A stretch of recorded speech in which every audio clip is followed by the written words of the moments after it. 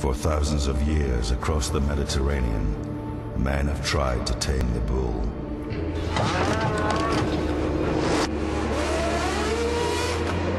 In ancient times, men lived in fear of a behemoth, part man, part bull, the Minotaur. So men would prove their bravery by leaping a charging bull.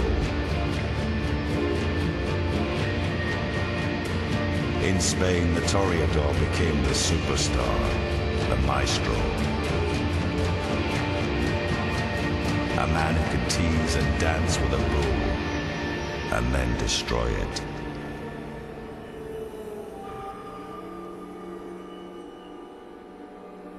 That was then.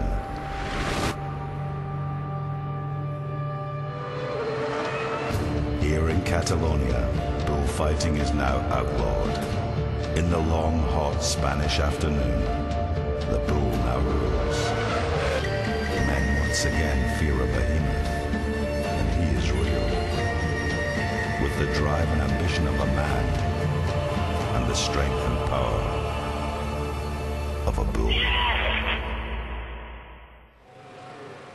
And how much would they love to see Fernando Alonso greeting that checkered flag first here this afternoon? Well, so far this year, the teams may have failed to tame the bull, but despite this being an unpredictably unpredictable Formula One season, one thing is absolutely certain. We are nowhere near crowning the Formula One world champion for this year. Welcome to race five of the 2011 Fo Formula One season, the Spanish Grand Prix from the Circuit de Catalunya with David Coulthard and Eddie Jordan. And guys, we just saw there just some small snippets of the dominance that Red Bull are enjoying at the moment. But the one thing that does do is motivate every team around them.